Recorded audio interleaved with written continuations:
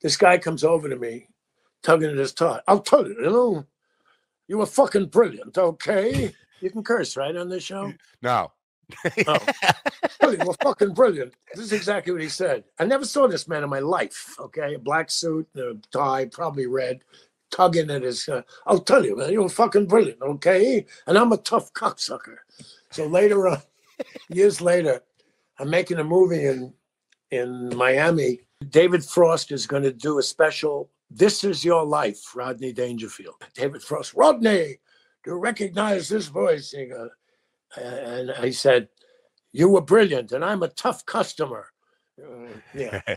Anyway, he said. Then he said the important thing. Now you got to come here every night for two or three years to get it right. Wow. And so I began going to the improv.